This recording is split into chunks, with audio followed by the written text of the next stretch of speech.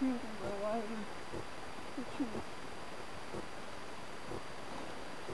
I, I can't, I can't do it. Yeah.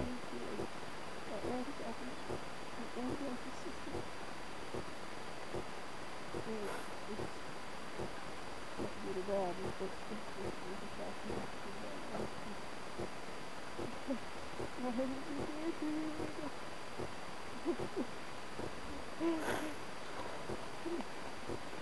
You said you can't give because it wasn't given to you. Yeah. How would you know? How would you know how?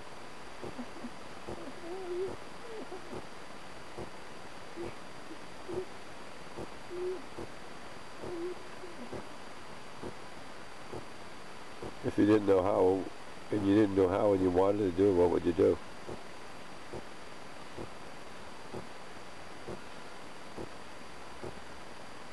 Just reach out and try my best.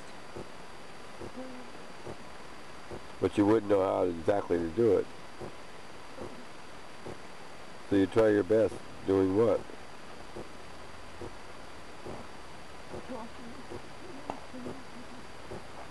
If you didn't know how to do it, you didn't know how to do it, but you wanted to do it, what would you do?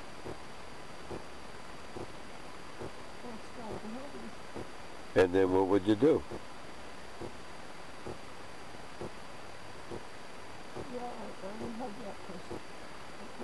Where would you get your guidelines for doing something that you don't know how to do?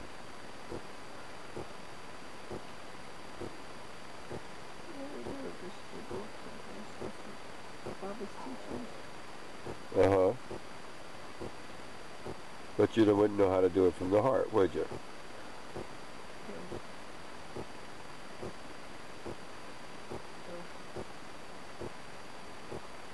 So you would try to do what you thought it would be it would be like, right?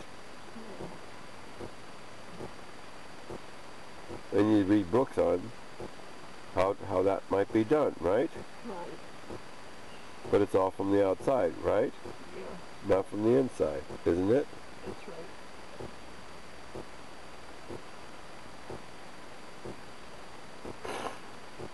Don't you see you did the best you could under the circumstances? But that it would always be hollow because it, you, you didn't really know how? Yeah. That's right. It would always be hollow. Then you see that you were trying so much harder than everybody else? You'd be trying so much harder to sh- to show your to show your love than somebody who just naturally felt love. I know that's so tormenting.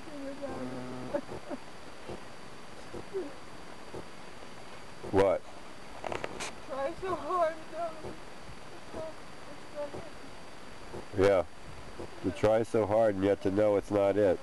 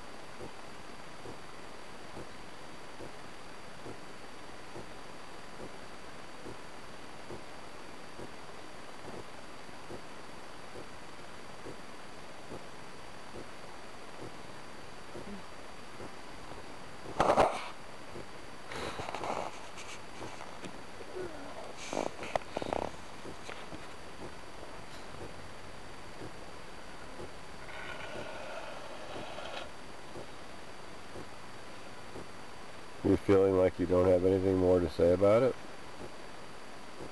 Or do you have something more to say? No, I feel like I want to write it down so I don't forget it. I feel like you know, I should journal because it's a huge important thing. Well, maybe if... Okay, before you go thinking about things, to, uh, putting things on your to-do list, why don't you just trust, just trust that between your spirit and your mind, that the important things will be remembered, okay? Yeah. And then tell me now, uh, answer me again now. If you let that go, the have tos and the to dos, the shoulds, is there anything else there?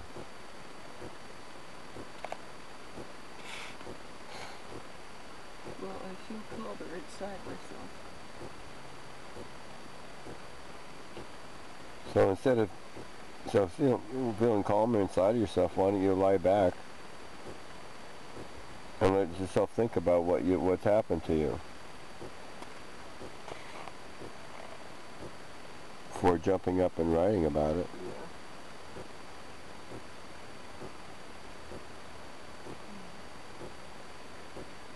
How do you feel? Oh, I, I feel little hints of tears, residual tears. Thinking back to where I, you know, back to that, that little girl. Well, was sad.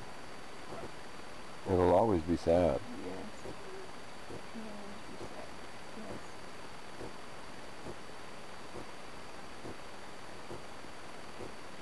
You'll never get what you wanted. You can never undo that. You know, love is such a precious gift, you know, as a child. It would come to me from other sources, Yeah. but when I had my tonsils out, Uh-huh. there was this technician, the hospital technician. And he would come every day, and he always had a big smile on his face. Yeah. And he was so loving. I forget what he said, but he he was there with me, you know. He was. Yes.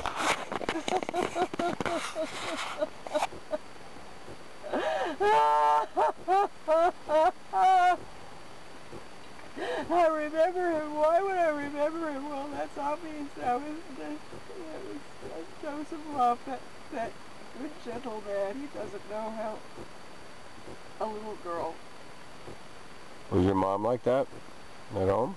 know, Must have been quite a contrast. yeah.